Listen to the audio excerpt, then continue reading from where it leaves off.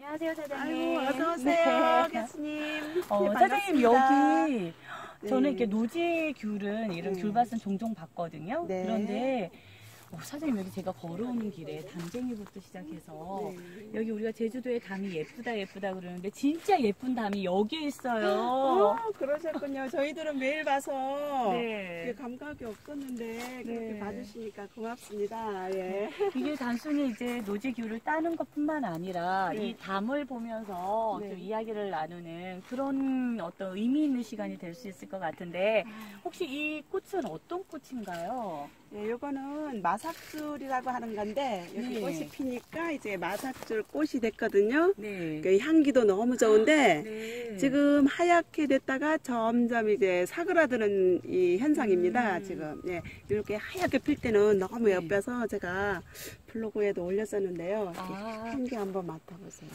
오, 네, 향기도 좋아요. 음. 마삭줄 그 꽃이 그렇게 네. 좋다네요. 이쁘고 그래서 이 네. 마삭줄 꽃이 이렇게 얽히고 설켜야 네. 이 담이 네. 헝클어지지 않아요. 바람이 워낙 세니까 지금 이런 것들이 다 무너진 거예요. 아, 이 담이 무너졌는데 이 네, 요- 얘네들이 네, 이렇게 예. 자라줘야 튼튼해진다라는 네, 거죠. 네, 담이. 이게 꼬이고 꼬이면서 이렇게 네. 해서 그리고 꽃도 보여주고 네. 네, 그렇게 하고 있습니다.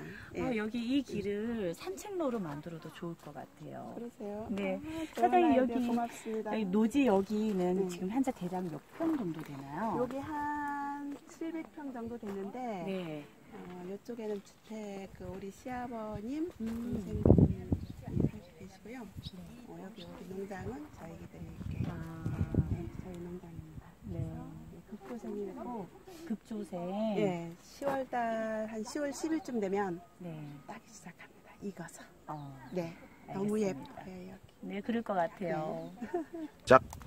사장님, 네. 여기 이거는 뭐죠? 제가 제주도에서는 별로 보지 못한 나무인 것 같은데. 예, 요게 그 당뇨에 좋다는 네.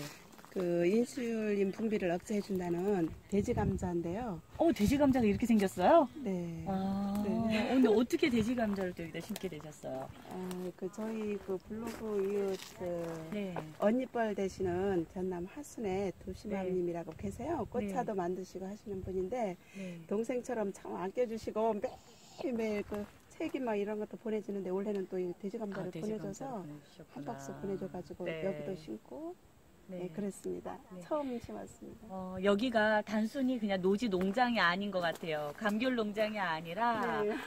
어, 여기 너무 예쁜 담장이 있고 네. 제주도에 정말 온갖 그 예쁜 꽃들이 있고 이렇게 돼지 감자도 있고 진짜 없는 게 없는 곳인 것 같습니다. 아, 그러세요? 네. 사장님 굉장히 아름다우신데요. 네. 여기 가꾸실 때 네. 그런 마음으로 가꾸시는 것 같은데 어떻게 지금 다 이렇게 관리를 하고 계세요? 예, 저는 그 미용실도 겸하고 해서 하루 종일 네. 농장에는 못 두고 네. 특히 하절기 때 되면 새벽 한 6시 반에서 네. 영업을 9시부터 시작하니까 9시나 9시 조금 넘게까지 네. 이 농장, 저 농장 다니면서 음. 주변 정리들을 하고 네. 항상 네. 주변 깨끗하게 하고 돌멩이들을 네. 또 체험객들이 또 오셔서 넘어지지 않게 네. 주워서 이렇게 포도에 네. 담아놓고 이렇게 농장 정리를 하는 음. 것을 아침 일과로 하고 있습니다. 어우, 너무 부지런하세요. 네. 감귤 농장에 많이 와주세요.